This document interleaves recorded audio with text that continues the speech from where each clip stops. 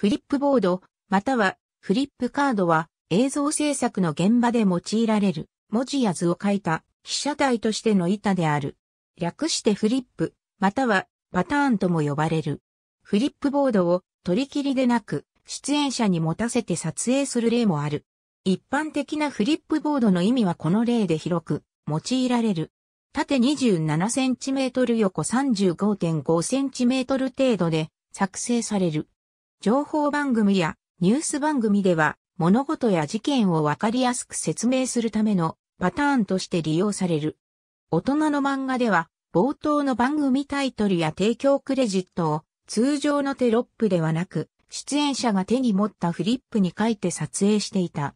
また、クイズ番組において回答者が答えを記入するために用いるほか、お笑い漫画道場などでは漫画を描くためにも用いられた。近年では国会審議において質問する議員がテレビ中継を意識して使用する例や企業におけるプレゼンテーションなどに使用されるケースもある。図形や文字を用いて説明するためのフリップはスチレンボードが用いられることが多く、クイズの回答や絵を描くためのフリップはイラストレーションボードが用いられることが多い。低予算番組ではフリップの代用品としてスケッチブックが用いられる場合もある。1990年代後半になると小型のホワイトボードも用いられるようになった。多くは局内の美術センターやタイトル制作の部署、テレビ美術専門のプロダクションがそのデザイン、制作を担当している。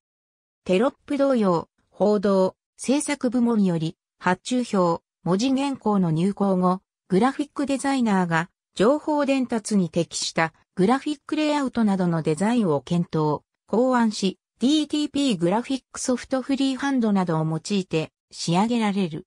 その後、誤字脱字の他放送表現上の構成が行われ、発注元の部署に納品される。基本的に各番組が専用として独自に発注するため番組名やコーナー名のロゴタイプが刷り込まれる場合が大半であり、番組間で流用するケースは稀である。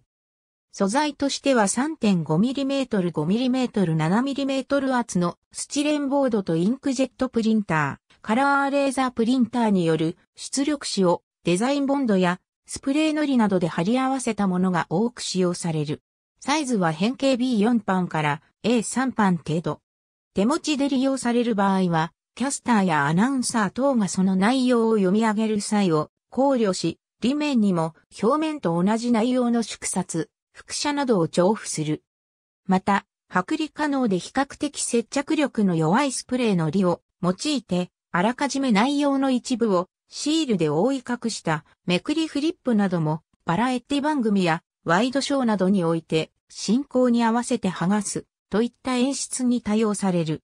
演芸の分野でフリップやスケッチブックに描いた絵などを紙芝居のようにめくりながらネタを進行するスタイルの芸はめくり芸やフリップ芸と呼ばれる。ありがとうございます。